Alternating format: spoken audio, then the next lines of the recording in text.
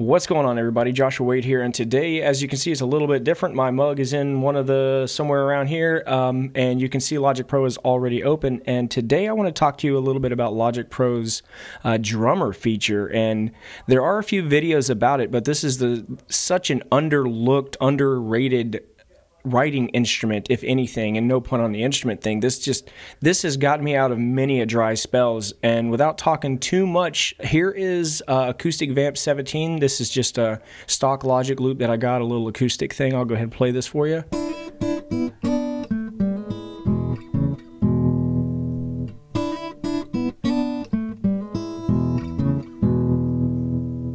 Okay, so you know, just kind of a basic little acoustic noodle thing. So I'm going to go ahead and I'm going to hit this plus up here and we're going to add drummer. And what's really cool is you can select the style. So this to me is honestly, this would be more like a, a songwriter.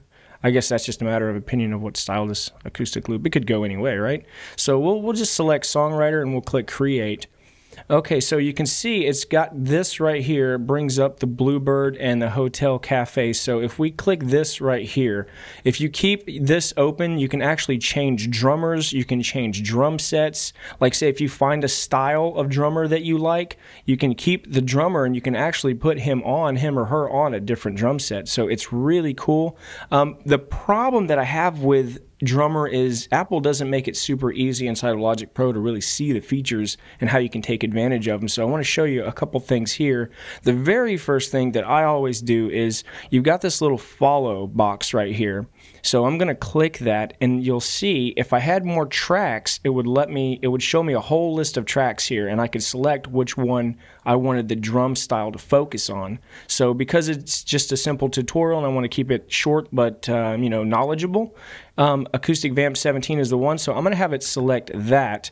And what's really cool is if I grab this and I stretch it out, you'll see it change. So let's say this is so this is this long, right? So we got four, eight. So this is 16, right?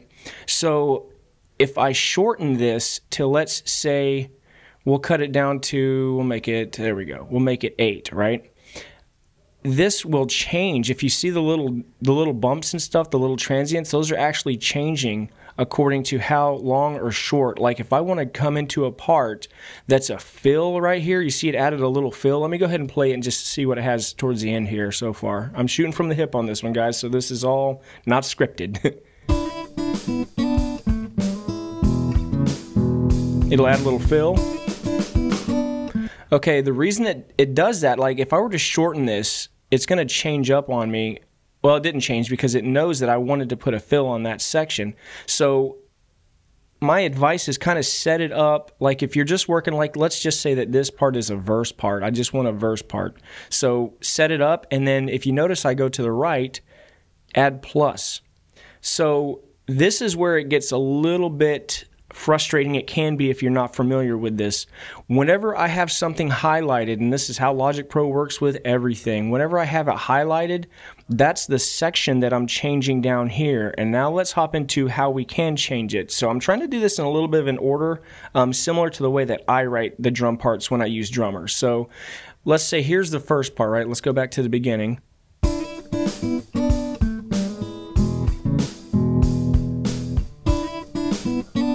Okay, kind of a chill beat, but let's say I wanted something a little quieter and a little more simple. You'll see the transients change. But notice they only changed on this one because, again, you're only affecting the one that you click on. So if I go back to this one, you'll see it the the uh, little blob, the little dot change back up to here because that's where the settings are on that one. And this is the part that can get confusing.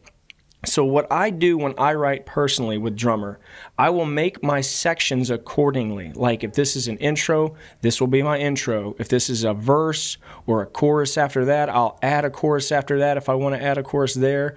And what I'll do is I'll rename them as I change them. So I'll go into where is it name and color and I'll just rename this like we'll say it's an intro again, this is me shooting from the hip. I didn't write any of this. I, as you see it, is as I'm doing it. So, so we'll say this is an intro, right? So I want the intro to be a little softer, and like it is right now. So we'll make sure we're back at the beginning.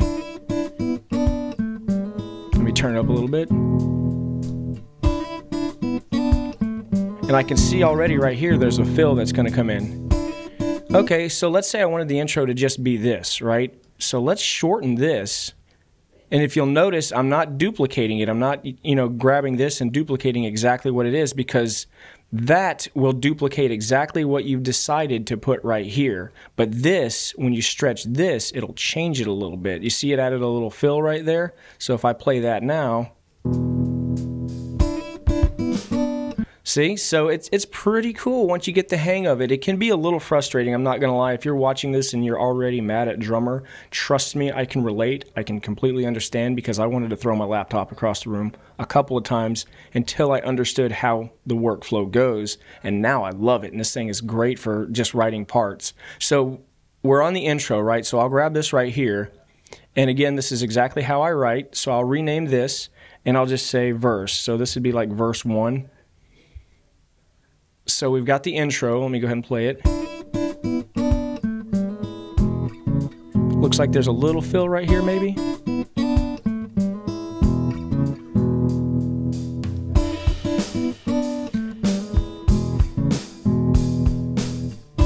And what's really cool about it other than a lot of things. What's really cool is if I like that hi hat, I can change it up, I can turn it off, I can add toms. So you see how I add this and you see the transients change. And I can change the type of toms I want. I can have how many, if I increase the fills, you'll see it change um, towards the end. You see how it changed right there. So it just depends on what vibe you're going for, and that's why this is such a powerful tool for writing. If you're having, you know, just a, a brain fart and you can't think of anything, this really has changed the way that I approach things. Because I've got the toms in there now.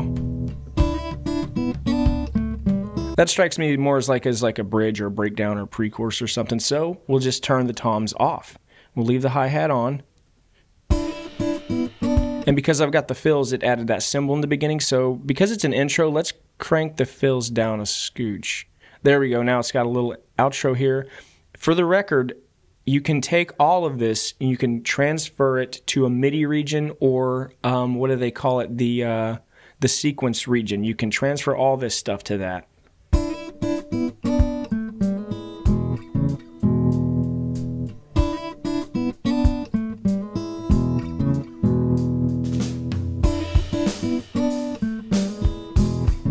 See, we're already on our way, guys. It's already sounding pretty cool to me. If you're into this, you know, the style of music, this is kind of like a Americana kind of stuff. So, getting to the drummers and the different styles. Again, I want to try to keep this kind of short but to the point. Um, getting to the styles, you can change the style and the drummer without changing the drum kit and also vice versa. If you like, say, if you find a, a drummer over here and the style that you like, you can select that drummer and you can actually pick down here you can pick different drum sets. So let's say under producer kits because i want it to have multiple outs. I'm kind of a fan of the socal the socal producer kit. So now that kit is linked with this drummer and this hasn't changed at all because you have to remember the drummer is your style and your drum kit is your sound. So now if i play it back it's going to be a little bit different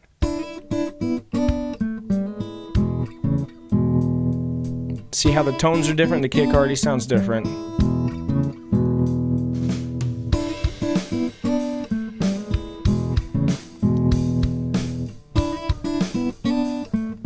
see that kick has got more of a presence to it, and I, I always like that kick. That's kind of my default kick. Um, but now over here on the beat presets, so this is the Hotel Cafe, and again, if you select this, it's going to change the style. Okay, so your beat presets.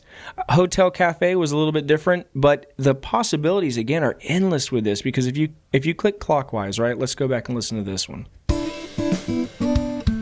And again, it's still following my my kick and snare is still following my acoustic vamp 17. So let's drag, and we can do this in real time. So maybe a little more simple. See, so it added because you notice I changed it to clockwise, the fills went up a little bit. And another thing that you want to keep an eye on if, if you're ever writing something with this and you hear stuff that you maybe don't see right here in the drums, click the details button and you'll see more stuff. Sometimes you'll see more percussion down here. This happens with a lot of the electronic, like the, um, the 808s and stuff like that whenever you click that details, you'll see other percussion in this section sometimes. So always keep an eye on on that. If you're hearing something that you you don't know where it's coming from, it's probably under your details. So now what's really nifty is the nifty. I said nifty. Anyway, so I can add more. I can add a shaker to this intro. And again, you see I'm only affecting what I have highlighted. So if I click this over here, you see everything change. It went back to Hotel Cafe. I could put it on clockwise if I want to, but I don't want to. So we'll go to this, but it's keeping the same drum set. You notice the SoCal didn't change, even when I clicked over here. So this is like, again, this is such a powerful tool for uh, just get the creative juices flowing. I love this. Um, I discovered this. I used to use EZdrummer, uh, EZdrummer, which is still an amazing virtual instrument. But when I discovered this, it just kind of opened my mind to a different style of writing because I've used Toontrack's Easy Drummer for years. And again, great plugin, uh, great virtual instrument, but this just kind of changed it for me. So I added the shaker. Let me see what that sounds like. It looks a little busy to me, but. Oh no, that sounds pretty cool, huh? It's got a ride going and a little shaker. Seeing I'm already creating a song, and you guys saw me at the beginning of this. I promise you, none of this was pre-scripted except for the acoustic Vamp 17 was the only thing I had going into this. So I do like that, and let me make sure under my details. So your ghost notes, you can make it dry, you can change the swing of it. Um, let me solo this real quick and see. So what I'm thinking on this one, right? Like if, if I'm approaching this from a producer's point of view, I think I maybe want to add some more fills because I want the going into what would be the first verse, I want a few more fills. See, now that's what I like. Okay. Okay, so now we've got, let's try that. I'll put about halfway.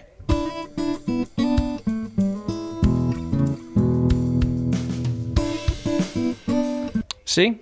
It's that easy, guys. It really is that easy. And again, you can change the style of drums. Let's say we want to change the style completely. Let's do like a like a more of an 808 kind of. All right, let's go into hip hop. So we'll pick Dez, right? And you see it change instantly, and the drum machine change. So keep that in mind when you change drummers.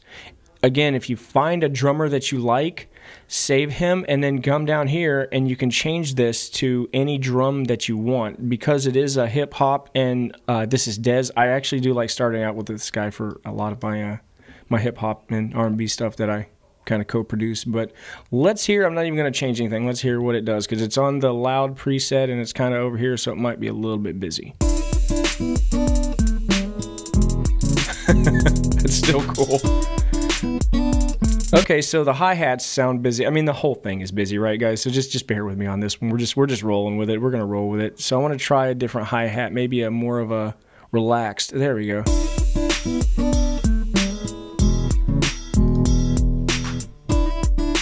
There we go. Now, for some reason, this one's the open hi hat or a crash. I don't know what that is. Does it tell me? And this is the most of the time closed hi hat. I don't know why that is, but it that it is what it is. So now that that one's off, I can maybe change this up so my closed hi hat will be a little more busy.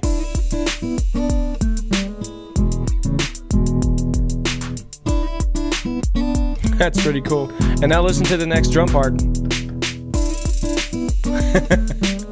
Interesting. So that's again, guys, the creative possibilities are endless with this thing. So if you haven't tried Logic's drummer yet, try it. You are doing yourself a disservice by not at least experimenting with it a little bit. Um, I'm not going to tell you it's the best virtual instrument for drums in the world because there's a lot of them out there that I hear are really good. I've just not had any experience with.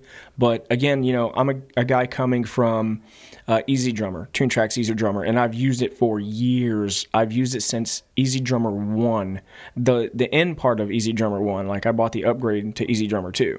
So I have been using it for a long time.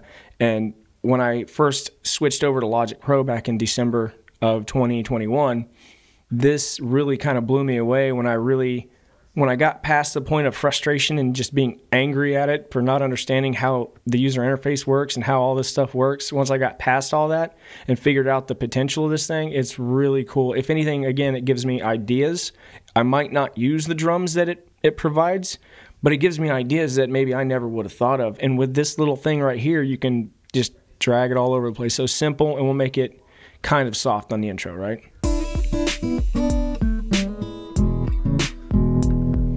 Okay, so not loud, but let's go a little more complex. So if you notice I didn't go up with it, I went over here with it. Let's see what that does. All right, let's turn off the clap real quick.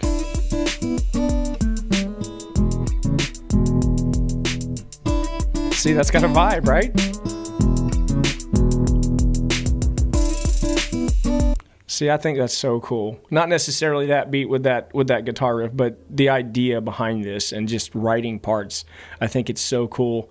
And if you guys have any questions about Drummer or if you want me to make a more in depth, this is just barely skimming the surface of what you can do with this thing. I didn't want to make this a 20 minute video. But if you guys want like a part two of this, please let me know in the comments down below. I'd be more than happy to make a more in-depth, longer video if you guys enjoyed this or if you got anything out of this.